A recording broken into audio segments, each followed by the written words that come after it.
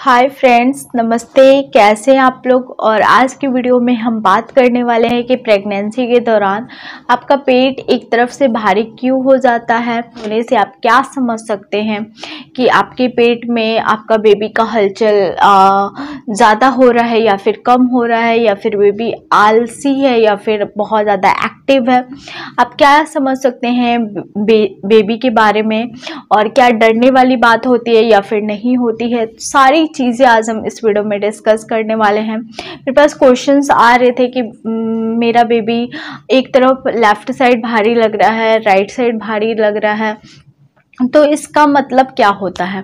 तो सारी चीज़ें आज हम इस वीडियो में डिस्कस करने वाले हैं। तो अगर आप मेरे चैनल पे पहली बार विज़िट किए हैं, अगर आप मुझे पहली बार देख रहे हैं तो मेक श्योर sure करें कि मेरे चैनल को सब्सक्राइब कर दें, मेरे वीडियोस को लाइक कर दें। अच्छा लगेगा तो ज़रूर लाइक कीजिएगा और शेयर कर दें, स्पेशली उन लेडीज़ के साथ जो प्रेगनेंट है तो उनको बहुत ज़्यादा हेल्प मिलेगी। तो चलिए फिर बिना देरी की वीडियो स्टार्ट करते हैं। फ्रेंड्स, प्रेगनेंसी में पेट भारी होने का मतलब होता है कि बच्चे का जो हेड है, वो वहाँ पे रहता है। अगर आपका लेफ़्ट साइड भारी लग रहा है तो आप समझ सकते हैं कि आपका बच्चे का हेड उस साइड है। अगर आप राइट साइड आपको भारी लग रहा है तो आप समझ सकते हैं कि आपका बेबी का जो हेड है, वो राइट साइड है। अगर आपको नीचे की तरफ़ भारी लग रहा है तो आप समझ सकते हैं कि आपका बेबी जो है बेबी का हेड जो है फिक्स हो चुका है। तो इस साइड आपका बहुत ज़्यादा आपको भारी लग रहा है वो आप समझ सकते हैं कि यहाँ पे आपका बेबी का हेड हो सकता है। जैसे मेरे पास कमेंट आया था कि मुझे राइट साइड बहुत ज़्यादा भारी लगता है और मुझे लेफ़्ट साइड मूवमेंट होता है। तो आप समझ सकते हैं कि आपका जो बेबी है वो राइट साइड उसका हेड है और लेफ़्ट साइड वो हलचल कर रहा है, यानी पैर हाथ अपना हिला रहा है। तो वो लेफ़्ट साइड वो पूरी तरीके से हलचल कर रहा है। नेक्स्ट बात करते हैं कि बेबी भारी क्यों लगता है? क्योंकि जहाँ उसका हेड होता है, जब वो हेड फिक्स कर लेता है लास्ट ट्राइमेस्टर की मैं आपको एग्जांपल देती हूँ कि जब आप लास्ट ट्राइमेस्टर में जाते हैं तो जब आपका बेबी का हेड फिक्स हो जाता है नीचे की तरफ़ तो उस समय बेबी मूव नहीं कर पाता है पूरा। पूरा राउंड नहीं घूम के वो बस हाथ पैर हिला पाता है। और क्योंकि हेड बेबी का सबसे आ, मतलब बड़ा होता है और आ, उसका वज़न ज़्यादा होता है।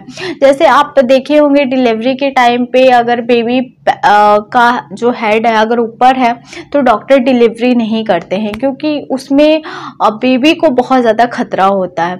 अगर बेबी का हेड डाउन पोजीशन में है तो उस कंडीशन में नॉर्मल डिलीवरी भी पॉसिबल है एंड बहुत अच्छे से डिलीवरी डॉक्टर्स करा भी देते हैं, क्योंकि हेड जो होता है, बड़ा होता है और सबसे भारी होता होता है। तो वो निकल जाने के बाद बॉडी फिर अपने आप निकल जाता है। बॉडी में बहुत ज़्यादा मेहनत नहीं लगती है।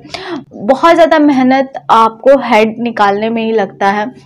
और आपको भी उस टाइम पे पेन ज़्यादा होता है हेड के टाइम पे बाकी बॉडी तो बहुत आराम आराम से निकल जाती है तो उसी तरीके से अगर आपको आ, भारी लग रहा है तो आप उसी तरीके से समझ सकते हैं कि बेबी का जो हेड है वो ज़्यादा भारी लगता है।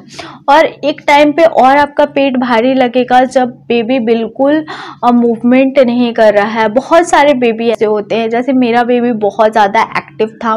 आ, स्टार्टिंग से ही जब बाबू पेट में था तो बहुत ज़्यादा एक्टिव कर मतलब बहुत ज़्यादा मूवमेंट था उसका। मतलब हुआ था जब मेरी सिस्टर प्रेग्नेंट थी। तो मुझे वो बताती थी कि हमेशा उसको गुनगुना पानी या फिर चाय जो गुनगुने चीज़ें हैं, उसको रात रात को भी उठ के उसको पीना पड़ता था, क्योंकि वो बिल्कुल हिलता ही नहीं था, बिल्कुल मूवमेंट नहीं करता था रात को। और जिसकी वजह से उसको सांस लेने में भी प्रॉब्लम होती थी एंड उसको रात को वो चलती थी दो तीन बजे रात को वो वॉकिंग करती थी। तो इस तरीके से अगर बेबी करते हैं, तभी भी आपको प्रॉब्लम्स हो सकती हैं।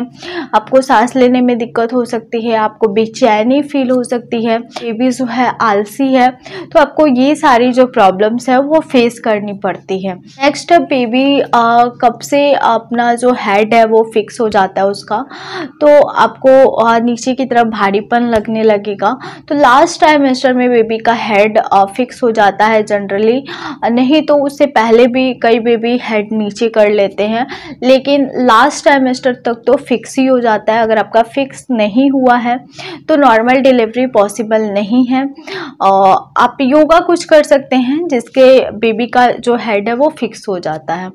नेक्स्ट बोल कहा जाता है कि अगर बेबी बहुत ज़्यादा मूवमेंट करता है तो उस सिचुएशंस में चांसेस नहीं रहते हैं कि आपका पेट जो है भारी लगे और आपको बहुत ज़्यादा बेचैनी हो, आपको हैप्पीनेस लगे, ऐसा फील नहीं होता है। जैसे मुझे बहुत कम लगा है, जैसे मैं नाइन मंथ डिलीवरी के दस दिन पहले मेरे साथ ऐसा होता था, जब बेबी हेड नीचे किया था, तब मुझे सांस लेने में प्रॉब्लम्स नहीं होगी, लेकिन उठने, बैठने चलने में प्रॉब्लम्स होती है जब बेबी हेड नीचे कर लेता है। तो ये सारी प्रॉब आपको, आपका जो है वाइड डिस्चार्ज आपको बहुत ज़्यादा हो सकता है बेबी हेड डाउन करने के बाद। क्योंकि उस समय इम्यूनिटिक फ्लूड जो है धीरे धीरे अपनी जगह से हटने लगता है।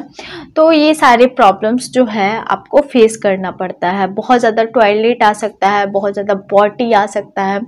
लास्ट लास्ट में ये सारी चीज़ें जो है सबके साथ होता है। होप आपको आज की वीडियो बहुत ज़्यादा पसंद आई होगी। अगर हाँ तो मेरे वीडियो को थम्स अप ज़रूर दीजिएगा।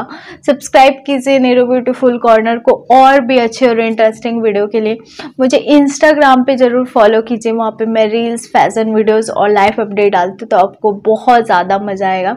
तो चलिए फिर मिलते एक आपका कोई क्वेश्चन होगा तो ज़रूर लिख दीजिएगा नीचे कमेंट बॉक्स में। बहुत सारे क्वेश्चन को मैं रीड करती हूँ, मुझे बहुत अच्छा लगता है। प्लीज़ अपना सपोर्ट बनाए रखिए। प्लीज़ मेरे सारे वीडियोज़ को वॉच कीजिए फुल फुल वॉच कीजिए। तब मुझे बहुत ज़्यादा एनर्जी मिलता है वीडियोज़ बनाने के लिए। तो चलिए फिर मिलते हैं एक नए और इंटरेस्टिंग वीडियो के साथ। तब तक के लिए बाय फ्रेंड्स लव यू